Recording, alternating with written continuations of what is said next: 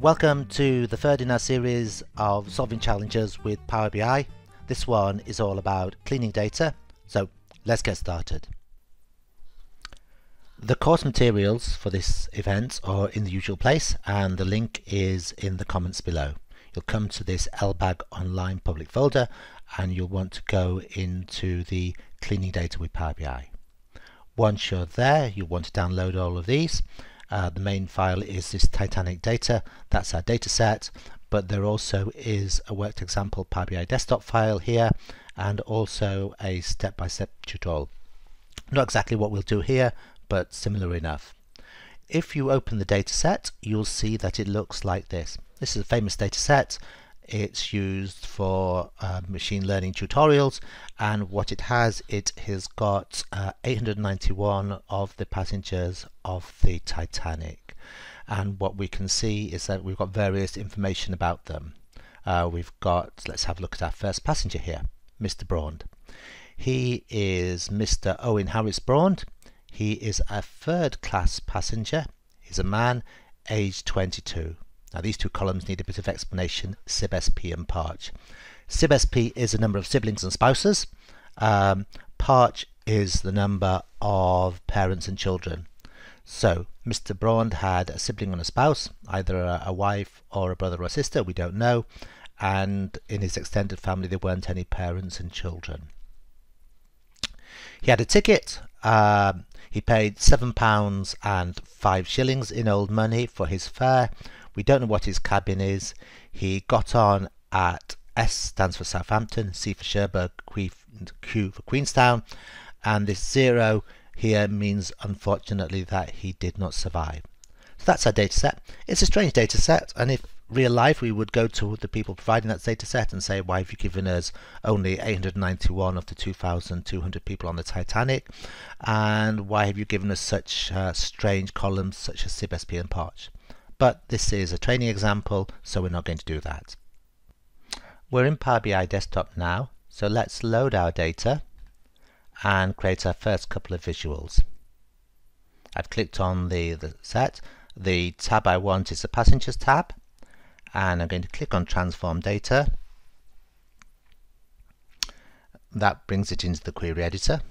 We'll do a lot more work in the query editor later on but for now I'm just going to close that down and go straight into Power BI proper. Once I've done that I'll have the field list on my right hand side. Now what I like to do always is create a measure almost as soon as I've got here which is I click on home and in fact I click on modeling and I click on new measure and this is a, a, number of it's always useful to be able to count the rows and in this case since every row is a passenger I can count the passengers. So I'm going to create a measure called number of passengers and there's a DAX function called count rows and that DAX function takes a table. We've only got one table there called passengers. So I'm creating that measure called number of passengers. And here we are, we can see the measure here. It's got this little calculator icon. And if I click on it, now uh, Power BI gives me a bar chart and what I can do if you hover over it and look at the axis it tells me I've got 891 passengers.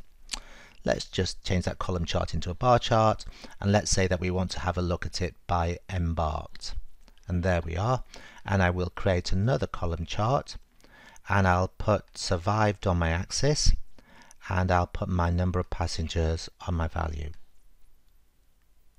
And for various reasons I'll move that over there so now we've got two charts, but they're not very good charts. First of all, if we have a look at this left-hand side, we see it's got an S, C and Q, and our users will have to remember that S means Southampton and so on. Likewise, on the right-hand side, we're looking at the survived, and we can see that uh, uh, 549 people didn't survive. But this 0 and 1 for died and survived isn't very good. Uh, Power BI, we really need to say died and survived.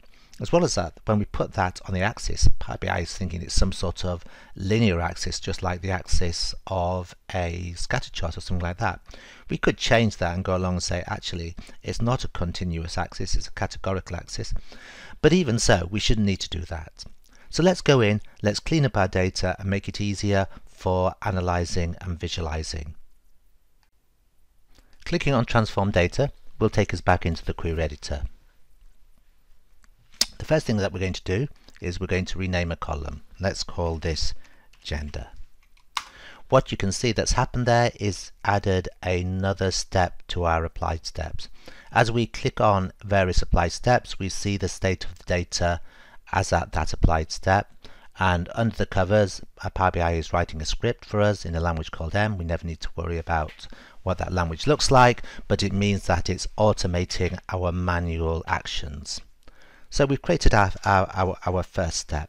Let's have a look at this name and the names have a certain pattern to them. They have the last name, comma, title, full stop and then the other names. And what we can do is we can take advantage of that to split that column up. Maybe we're interested in getting last names and titles. So what I'm going to come, I'm going to say split column, various ways you can do it, but by delimiter. And it's found that the first delimiter guess the first delimiter we want is, is a comma. I'm going to say that's fine. I'm going to split it at the leftmost and I'm just going to do that. And that splits it into name1 and name.2. Name.1 is our surname. Um, what I'll do is I'll call that last name and I'll come over here and I'll do the same trick with name.2 I'll come along and I'll split it by delimiter this time it's the full stop. And again it doesn't matter in this case but I'll just say I want it split once just the leftmost occurrence of that full stop. And I'll say OK. And that gives us our title. And I'll call this our other names. Lovely.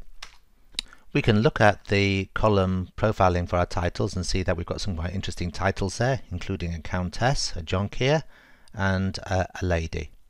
Uh, we have actually got some spaces preceding the these titles and also the other names because there were spaces in the original names. And so what we can simply come along is we can format and trim our title and also trim our other names. Let's improve our survived column. We can see from the green bars that it's only got two values, 0 and 1, and no empty values. So what we can do, we can go to add column, and we're going to add a conditional column. And we're going to call our new column survival. And we're going to say if our survived column equals, notice that we've got lots of other operators there, and we can compare it to a column or a value. In this case I'm comparing it to a value 0 then the result is died and since we know there's only two values 0 and 1 then I can say that else survived. I'm going to click on that. What it's done is given us a new column called survival. ABC123 means that Power BI isn't quite sure what the data type would be. We can help it and just say that's a text data type once we've got that, we no longer need the survive column, so I'll remove it. Now let's improve on our P class column. Instead of 1, 2, 3, this is the passenger class, so I'd like first, second and third. We could use a conditional column as we did before, but just for variety I'm going to use column from examples and I'm going to say uh, from selection, so I'm going to base my examples on this current selection. With column from examples, we basically gives examples and Power BI works out the formula for us. So our first row, we're going to give an example, P class is free, so we're going to give an example of third. And we can see that Power BI has already tried doing a guess. It's saying what you want to do is add RD on the end of it, so it's got one RD and two RD. That's not quite right, so we have to give it another example. And Mr. Cumings, Mrs. Cumings is um, is not one ID is we'll give an example. She's a first class passenger put on that.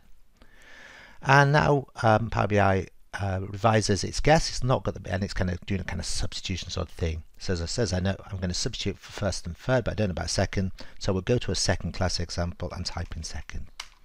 And that's that's good enough. We've got our example. I'm going to call this my passenger class two S's.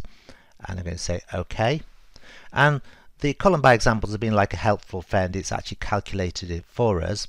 And if I now uh, click on the gear icon, which shows me exactly what's gone on there. It said actually what I've done is built a conditional column for you and there we go.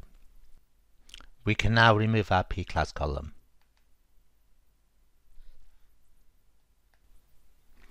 There is a theory that large families didn't survive because they were all distributed around the ship and when the accident happened and they all waited to regroup before they got in a lifeboat and when they eventually did there weren't any lifeboats. So let's have a look at that theory. We've got these two columns SIB-SP and PARCH and by adding them together and adding one we can get an idea of the family size. My family is my siblings, spouses, my parents and children and me. So let's go ahead and do that. I'm going to create a custom column this time and that gives me a formula bar and I'm going to call this my family size. And what I can say is I can write in the formula here which says that it's equal to my siblings and spouses double click on that and then I'm going to say plus. And I can use IntelliSense here as well Parch is my parents and children plus 1 I click on OK. It's created this family size. I'll remind that that is an integer, a whole number. And I can also want to remove my two columns. I don't really need those any longer.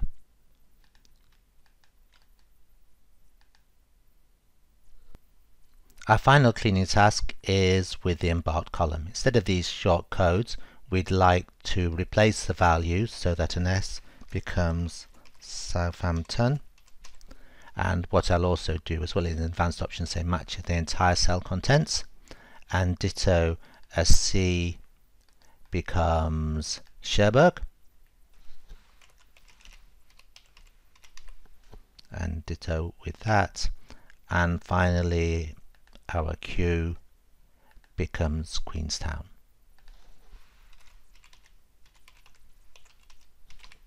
And let's change that as well. And so now we're done, our data looks good, and what we're going to do is we're going to come over here, close and apply, and we're ready to do some visualization in Power BI. We can see that our original chart of embarked against number of passengers is now looking a lot better because it's got the full names of the embarkation points.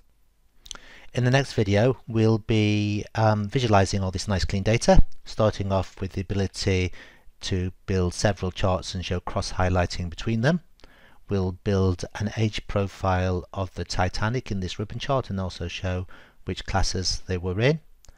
We'll analyze who survived on the Titanic with a key influences visual and we'll also look at the ability to drill through from the summary to uh, a detailed page showing, for example, the details of a particular family. As a reminder, these are parts of sessions brought to you by a meetup group, the London Business Analytics Group. Um, we normally meet in London, but obviously during the lockdown, we've gone online.